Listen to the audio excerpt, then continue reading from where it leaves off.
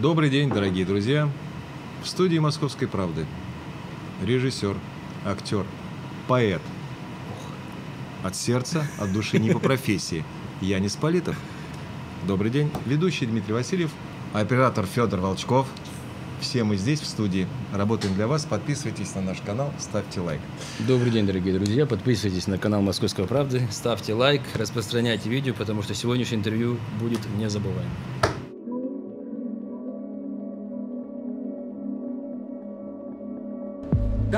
Господа, мы с гордостью представляем вам картину Юрия Григоровича «Абстракция».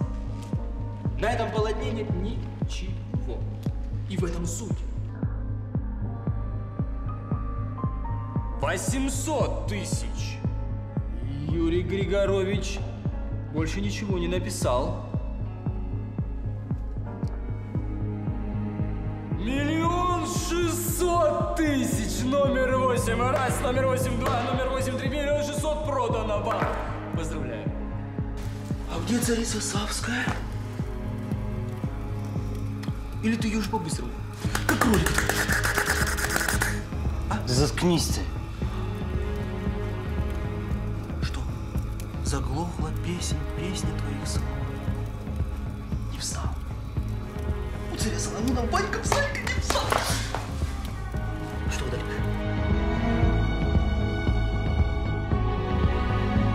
Так точно.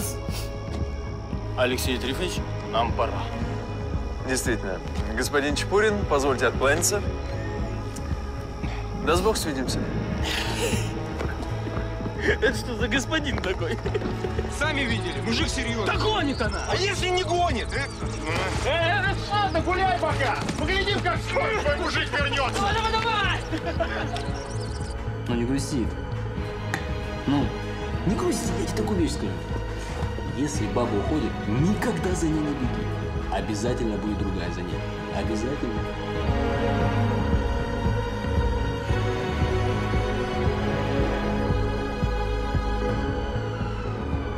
Ты совсем дурак? У тебя что, мозгов нет? Кто-то всю жизнь пашет, как лошадь, и не имеет даже десятой доли того, что я получу за один вечер.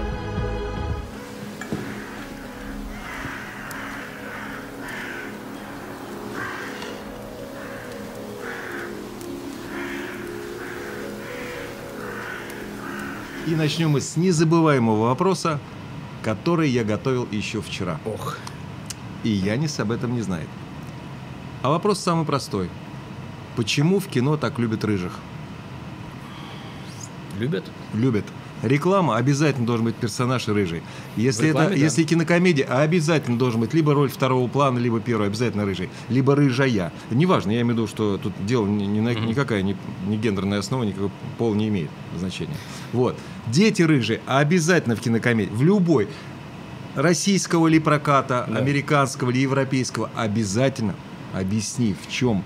Почему режиссеры, вот ты как режиссер и рыжий человек, да? Ну, во-первых, я не режиссер, а рыжиссер. Режиссер. Во-вторых, я не рыжий, а золотой. А, а вот оно как, вот. Я еще в детском садике, когда меня пытались, меня, меня пытались называть рыжий. Все мои драки в детстве, в школе были за то, чтобы отстоять, чтобы меня не называли рыжий. Это я потом понял э, ту награду, которую я получил свыше от Господа, родившись с таким цветом волос. А когда ты маленький, ты все-таки защищаешься, чтобы тебе эта кличка не. Понятно. А я вырос, ко мне так эта кличка не прилипла. Ну, По крайней мере, в в лицо мне никто не говорит рыжий. Может быть, за глазами, может быть, кто-то в телефоне написано, я не с рыжий, я не знаю. Вот. А почему, почему любят? э, Ну, во-первых, это люди, как считается, поцелованные солнцем. Да. А, Но помимо я, этого. Я, я не скажу, что прямо в нашем кино так сильно... Вы, вы мне скажите какого-то известного человека, суперзвезду в российского кинематографа с э, Давай, цветом э, волос. стоп, э, нет, не обязательно, естественно. Обязательно. Нет. М-м. Пожалуйста, Чучело потому что- снималась, не-не-не, подожди, ры- снималась Кристина человек, Арбакайте, у нее же не человек, рыжие волосы, но ее сделали, Рыжий человек – это характер. да, Это не просто Это оттенок. не просто, Это да. харизма. абсолютно То точно, есть, когда согласен. ты красишь себе рыжие это волосы, уже это не то, подлинник, это, подделка. копия, да. Так точно. Но почему-то на это идут, Ну, идут, наверное, потому что, ну, красиво, когда у тебя разная гамма палитра в кино. И даже Поэтому- если, э, ну, то есть, я не знаю, получается какой-то, знаешь, стандарт. То есть, если, а, а, значит, ребенок, пожалуйста, мультики все, рыжий-рыжий конопатый, помнишь? Да. Вот, то же самое. Был а.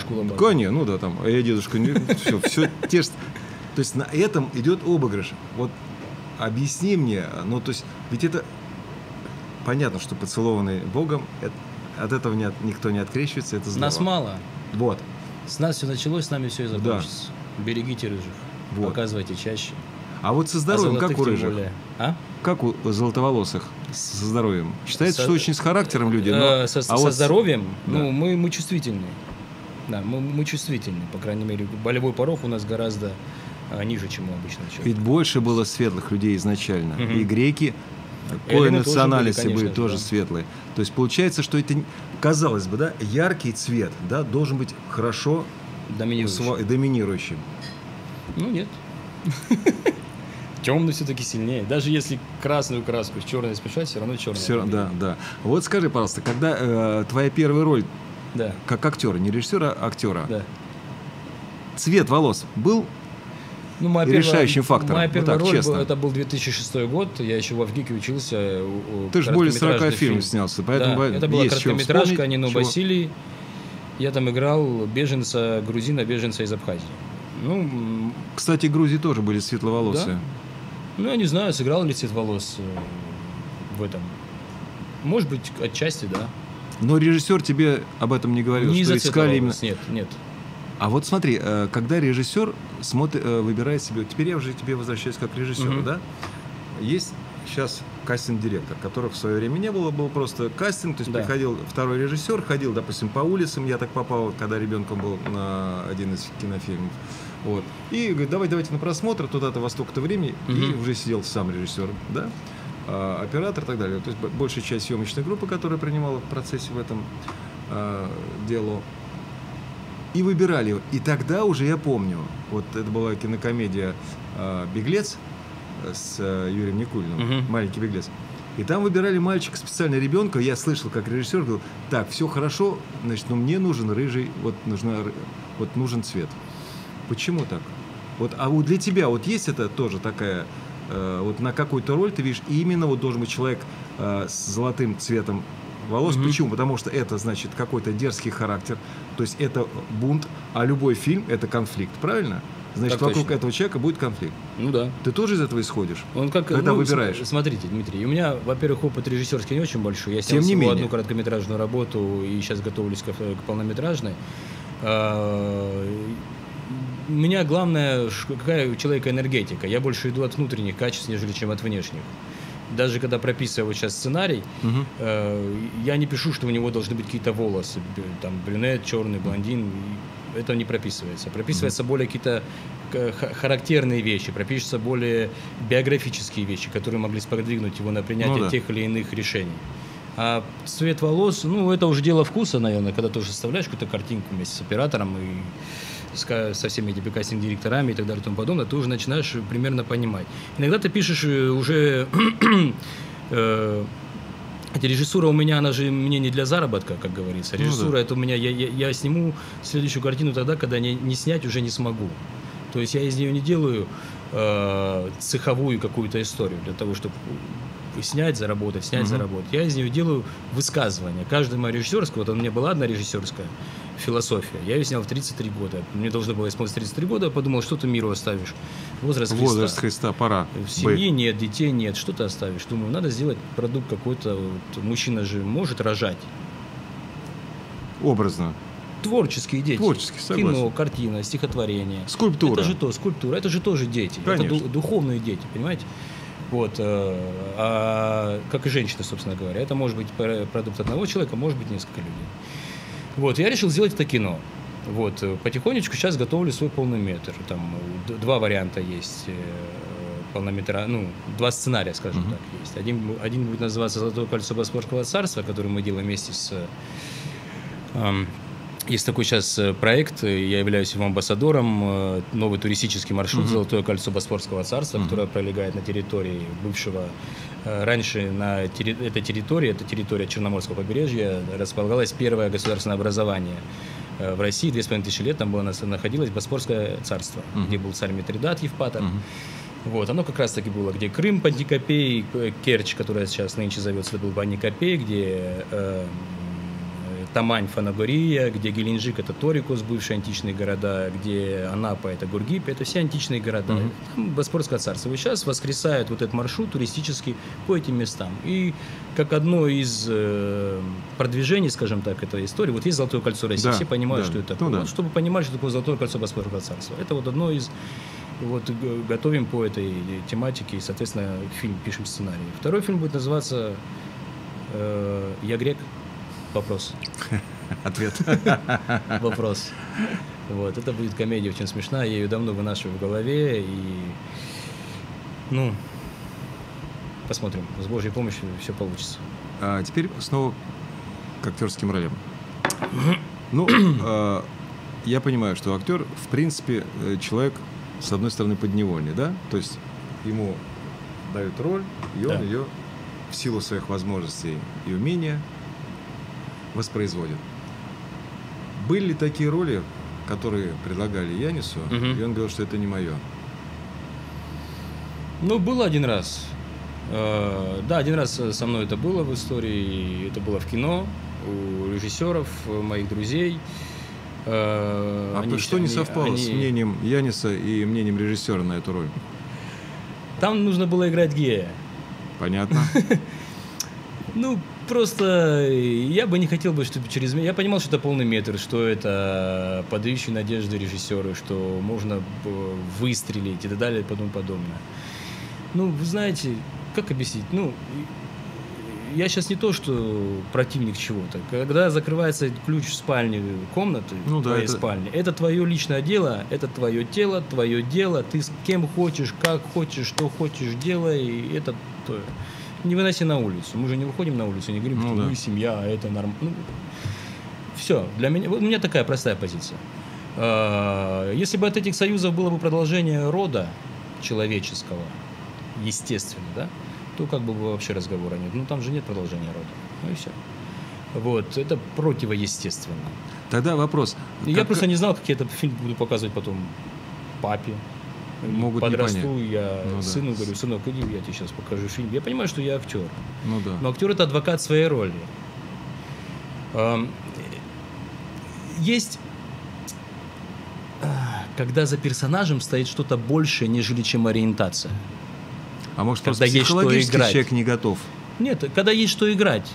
А когда ты играешь э, гея ради гея, смысла нет. Хорошо. А тогда э, скажи, пожалуйста, есть ли возможность у актера э, в праве выбора в э, работе в кино? То есть ты можешь только отказаться. Второй вариант есть альтернатива? Ну, наша жизнь всегда состоит из принятия решения. Нет, я имею в виду, вот, э, смотри, режиссер сказал, э, Янис, я вот вижу тебя в этой роли, да? Да. А ты говоришь, я себя не вижу, но я вижу себя в другой роли. Нет, актер Нет. должен знать свое место. Извините, конечно. Ну, слушай, режиссер плохо звучит, свое место. свое место. Режиссер это художник. Художник, а актер когда кто? Худ- Надо знать свое Творец. место. Художник, когда это краска. Художник, когда рисует картину, он у краски не спрашивает, можно тебя взять больше или меньше, можно тебя взять. Он берет и рисует. Актер, он, как и все остальные вспомогательные для режиссера, он краска. И он Так. не должен мешать творцу. Да, понятно, что это тоже творец, он там продумывает образ, то-то, то, но он должен дополнять, потому что в итоге в эпицентре этой пирамиды стоит режиссер, а не актер. Да, актер это главное, его лицо, э, на, его, на, на его лицо продаются билеты в Конечно. кинотеатре, на его... Да, разговора нет. Но когда ты уже согласился, и ты входишь в процесс, ты должен понимать, что ты краска. Да, понятно. И ты не должен мешать творить художнику. Нет, ну я же говорю, до начала а процесса. до этого ты должен Ты принять же- решение, ты входишь в Нет, эту... ну ты же можешь при- принять друг- э, решение другой краской войти в эту картину. Не, ну обсуди, конечно. Вот. Если ты можешь обсудить, если ты чувствуешь в себе потенциал, веришь в свои силы, и, то пожалуйста. А вот, я- слушай, а вот сейчас все-таки в большей степени, э, при том, что художник остается художником, я имею в виду режиссера, но огромную роль стал играть человек по профессии продюсер. Ну да. И даже есть название продюсерское кино. Мгм. То есть получается, что за этот продукт отвечает, за кино уже отвечает не режиссер, художник тире, отвечает продюсер. Мгм. А кто тогда продюсер в, в, э, кинематографе? Хороший человек. Это не профессия, Янис, это не А профессия. я докажу своей жизнью, что Да. хороший человек это профессия. И пусть больше людей идут и учатся на эту профессию. Продюсер это человек, который, эм, который находит, ну, в чем я сейчас буду рассказывать, кто такой продюсер, который находит Нет. инвестиции для кино и делает. Он, он должен тоже знать свое место. Он не должен мешать режиссеру творить. Э, Вы посмотрите, какие хорошие взаимоотношения были между Сильяновым и Балабановым. Это было настоящее продюсерское кино Сильянова, Да. который позволил творить абсолютно полностью, дать свободу творчества Балабанову. А ты не думаешь, Янис, что именно под Балабанова давали деньги Сельянову? Это как, это как это то же самое, как размышлять, что было там типа раньше, там Нет, я, не, не, вот я, я, По-разному все. я просто... Кто из- давал деньги? На брата кто там дал деньги? Там бюджет брата Нет, фильма. ну это какой понятно. там копейки там Копеечный. люди Ну, собрали по и тем, с- по тем временам, да. Нет, я к тому, что э, это ты называешь, знаешь, как э, правило исключения. И то это было, извини, в том период, когда денег вообще было мало. Мгм. Уж про кинематограф Ну да. закрываемые театры и кино были, да, ой, как нелегко им было выживать на это. Слава богу, в это время, да, выжили. Я про другое. То, что а, сейчас большинство кино, кинематографа, не только у нас, я, ну, берем более да, Мгм. широкий спектр а, воздействия, везде дают под э, актеров. Если ты яркий актер, режиссер под это дело Соответственно, и продюсер находит деньги, если у тебя будет сниматься Де Ниро, если у тебя будет сниматься Гармаш, да, если у тебя будет сниматься Машков, если у тебя будет сниматься, а, я не знаю, там... Не знаю, я, я понимаю, о чем говорите. Я, я вот, например, свои фильмы, которые планирую снимать, по крайней мере, точно фильм «Я грек. Вопрос», я не хочу привлекать ни одного знаменитого актера. И это не скажу, что принципиальная позиция. Я хочу, чтобы картина заходила. Вы знаете, самый окупаемый фильм в истории кинематографа – это «Моя большая греческая свадьба». При вложениях в 5 миллионов долларов они вытащили 500 миллионов долларов. Да, есть «Аватар», 4 миллиарда вытащили, Да. но они вложили лярд. Вложи- да, вложили много. В «Моей большой греческой сва- э, свадьбе» не снят ни, один, ни одной звезды. Нет, да. Так в Горько тоже не снимался ни одной звезды. Ну, произошел эффект. Произошел. а эффект. что потом с Горько 2 было? Ну, Был что эффект. было? Ну, слушайте. ну, Почему, Моя кстати? большая греческая свадьба, часть вторая, тоже не так прошла, как моя большая Вот, греческая и- вот как раз и вопрос, почему- Потому что хотят на тех же лыжах Вот, заехать в рай. Да, заехать в рай. Почему, вот наступая на те же грабли, все равно пытаются, зная, что ну не будет иметь успех э, второй, э, и все равно люди снимают, а надежда, я понимаю, умирает последний. Ну ничего, елки зато имеют успех. Потихонечку. Ой, не смотрел, и не знаю, не могу Ну, ничего говорить. Люди зарабатывают, нормально все. А, нет, даже зарабатывать это... Зарабатывают, да. А для Ну, вас, Янис, господин Политов, что важно, зарабатывать деньги или все-таки... Политов знаете, как переводится? Хорошо вы не сказали гражданин Политов. Нет. Ну, правильнее было бы так. Потому что Политов это гражданин. Ну, Политис в переводе с греческого Политис, да, гражданин. да. Но я имею в виду с большим уважением. Гражданин А гражданин вообще это... Гражданин звучит Ну да, это гордо. Конечно, конечно. Конечно. Это в нашем понимании как это гражданин начальник, гражданин э, дайте свой документ. Не, Сразу гражданин- переход. гра- Гражданин это очень интересная история. Почему-то у нас оно как-то не очень Ну, котируется. ничего. Внедрим. Внедрим. Делаем, сделаем апгрейд. Янис апгрейд сделает в сознании Так точно. россиян. Слушай, Ну мы один раз живем, почему нет? Согласен. А, Вот говоря опять же о, об актерах, почему у нас, э, и не только у нас, э, вот есть заангажированный актер и начинает снимать его направо и налево. Там, где нужен он и не нужен, где нет успеха и где есть успех. Мгм. Вот. И режиссер ведь за это берутся, понимая, что ну, не в каждом проекте этот актер будет на своем месте. Вот объясни мне это необъяснимое. Ну, пока, как говорится, карта идет, актер быстренько он понимает, что его путь... Знаете, Шиловский нас учил, Сергей Николаевич, мой мастер. Он нас учил тому, что на Олимп не так-то сложно взобраться. Сложнее всего там закрепиться. Очень мало кто может закрепиться на Олимпе. Вот, поэтому, как правило, наверное, актерская боязнь одна из страшных э, снов, скажем так, актера. Это, наверное, когда ты уже там, и ты боишься, что тебя там уже не будет. Ты начинаешь быстренько-быстренько, хотя бы пока это имя есть, и быстренько себе заработать денег, устроить какой-то быт. Ну, как сказал, как его-то, господи, Батли, по-моему, когда искусство становится ради денег, прощай надежды на настоящее искусство. Вот, поэтому нужно А нашем понимать- кино российском М. это выражение подходит? В нашем кино, ну, у нас- Частично. у нас, э, мы можем попрощаться с надеждой на, наста- на настоящее искусство в нашем кино. Но смотря на молодые дарования, которые, понимаете, нужно молодым давать дорогу. Вот я всегда за это топлю, топил и буду топить, и у меня вот Это всегда так говорят, кинофестиваль. Почему Но говорят? с этим...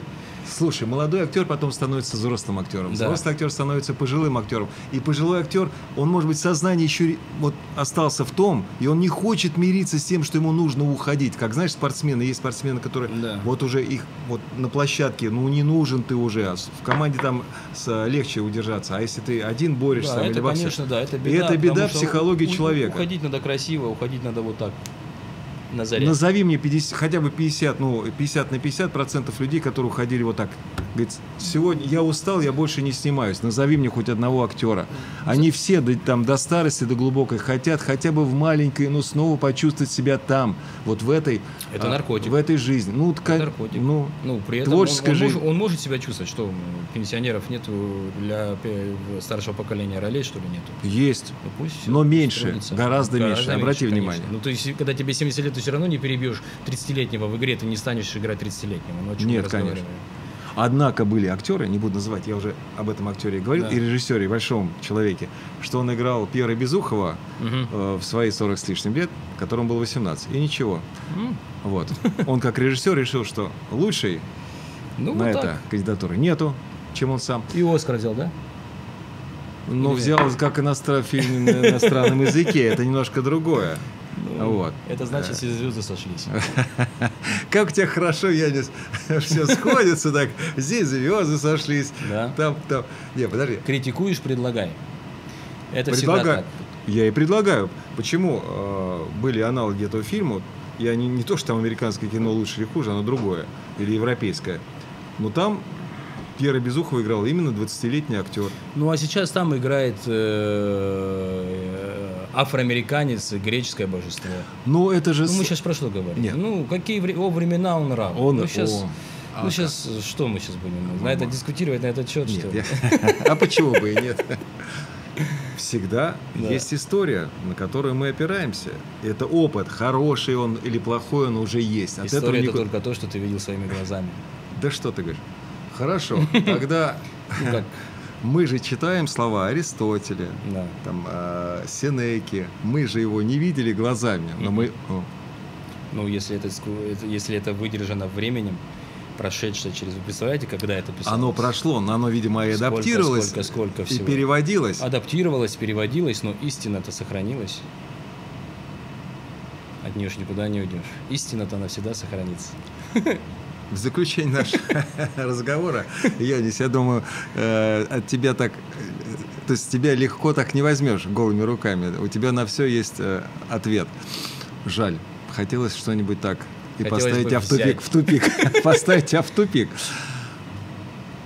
И вот такой вопрос тупичковый э, в плане э, личной жизни. Можешь не говорить. Я к тому, что, э, к сожалению, так, ну, практика. Очень многие э, режиссеры, да, они как раз снимают своих жен. Мгм. И снимали. А, Но были актеры, то есть были режиссеры, которые, в общем, своих жен, ну, если и снимали, то на вторых ролях или в эпизодах. А были режиссеры, которые вот во всех театральных постановках, я не только кинорежиссер, да, всегда видели Примадон, ну, как вот Сомерсет Моем, да, театр. Потрясающе, ну, это вот прям об- образчик того, что происходит и происходило в кино и театральном жанре, да? Марсель Метуа? Да. Ну вот, вот скажи, пожалуйста, вот на твой взгляд, если бы вот я пофантазирую, как быть, если супруга твоя актриса Так. или любимый человек, с которым ты живешь, да, а, ты режиссер, и ты можешь решить, что в этом и сделать ей приятное, будет сниматься она. Но ты понимаешь, что это будет э, шаг назад, и ты видишь другого человека, но вот компромисс между своим личным и то, что ты хочешь показать. То есть творчество и личное, оно может Дмитрий, идти я в разрез. Так, продолжайте. Женщина не станет моей женой до тех пор, пока я не встречу своего человека. Что значит свой человек? Это тот человек, который твой, не которого ты сделал своим и говоришь, теперь это мое. Нет, который твой. И если это твой человек, то у тебя не будет никаких с ним э, недосказок, недомовок и так далее и тому подобное. И если ты как художник примешь решение, что ей сейчас не место здесь в этом фильме, а место другой актрисе, то это, конечно же, будет принято и уважено, и поддержано. Если... Поддержано ею. Конечно же, потому что это твой человек. А не мой мне не нужен. Я уже мог бы многих э, женщин сделать своими женами, но я в них не встречал своего человека. Я ищу в этой жизни вот это ребро, знаете, Да. Которое Адамова. я вставлю, Адамова. и которое наконец-таки закрутит весь мой полностью цикл. Все, тогда, мы, тогда там не о чем будет разговаривать, там просто будет все понятно. Она скажет, и все правильно. А может быть тогда э, в заключении нашего вопроса, может быть просто э, иметь супругу не из области Там как Бог даст, ты же не можешь выбирать. Ну, как, ну, она может быть и откуда угодно, из, из любой. Ну, это, это, ну, ты встречаешь человека, и ты понимаешь, что это твой человек. Если он из области кинематографа, это ж его не портит, или не из области кинематографа, это ж, его- ну, это твой человек. Как объяснить? Я пока не встретил. У нас в гостях был актер, режиссер, поэт, кстати, который так и не прочитал. Давайте-ка в заключение прочтите стихотворение. Э, У меня есть стихотворение, которое мне пришло во сне, называется «Россия». И я очень хочу, чтобы оно оказалось пророческим. В 2017 году я как-то был в Америке, три месяца в Вашингтоне. Мне приснился сон, где голос мне сказал, что будет большая заварушка между Россией и США. И вот где ты останешься, те и победят. И я уехал. Хотя я там уже пробовал почти три месяца, и были какие-то планы, может быть, там остаться. А, Я уехал, я вернулся домой, я вернулся 9 мая 2017 года, из Шереметьево приехал домой, взял флаг и вышел на бессмертный полк. Россия, мать моя, моя отчизна. Ты так красиво, ты прекраснее всех, родился я в России здесь и вырос, и в ней, скорее всего, найду удел. Как много пережила ты, старушка, из разных мест и проб твои купцы, дай Боже, много сил тебе и духа, чтоб непокоренной осталась ты. Тебя пытались многие залапать, мечтали тебя многие сгноить, стремились тебя на колени ставить, хотели тебя взять и расчленить. Но не отдашься ты ладони бесноватых, не дашь себя взглядом очернить, не будешь ты ничей, как альма-матер, не станешь ты безбожников плодить. Крепись, Россия, ты еще малышка. Ты только-только начинаешь жить, но скоро подрастешь и удивишься, какой могучий ты способна быть. Люблю тебя, родная, бесконечно. Люблю твои просторы и моря. Люблю твой люд. Простой и человечный. Люби меня и ты, как мать, дитя. Спасибо. Это был Янис Политов, русский грек. Так точно. Замечательный человек и актер. Спасибо. И режиссер. Спасибо. Удачи. Вам тоже.